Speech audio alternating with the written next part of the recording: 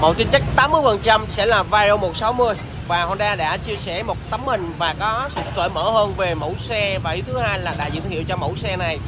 Về uh, có một chút trùng hợp với chiếc xe Vario mà màu đang đứng cạnh đây. Đây là con Vario 160 nha.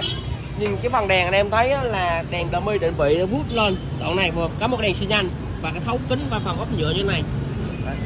Và cái sự trùng hợp tới hơn 90% về mẫu xe này thì chắc chắn một mẫu xe uh, tay ga. Uh, hoàn toàn mới dành cho giới trẻ có thể là Vario 160 thì có rất là nhiều ý kiến anh em. Ờ, chỗ này nó cũng giống nữa này có thể là mặt nạ này nó không còn cái phần bắt bắt ngay chỗ này nữa.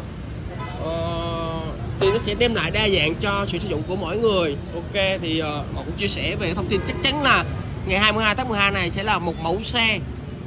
Một mẫu xe mà sẽ được bán trong tháng 1 nha mọi người hãy đón xem. Hãy đón chờ sự sự suy đoán của màu có chính xác hay không nha thời một mẫu xe Veo 160 thì vẫn còn những cái phiên bản Veo 150 125 à, phiên bản 2022 thiết kế lại hoàn toàn về phần đầu mặt nạ cũng như thiết kế thân xe. Thiết kế đồng hồ nhìn thể thao bắt mắt có thể là thiết kế lại nhìn thấy nó lạ lạ. À, đổ xanh vẫn là dưới này khoan học đồ. Bên này cái cái cái học đồ này được làm thêm cái nắp nhà cái nắp này. Nó hỏi bị ướt mưa anh em nào có liên hệ về mẫu xe này có thể là zalo, cái này ở trong tỉnh thôi, nhà ngoài tỉnh thì không có thể đi hàng. Nhìn rất là bắt mắt. cực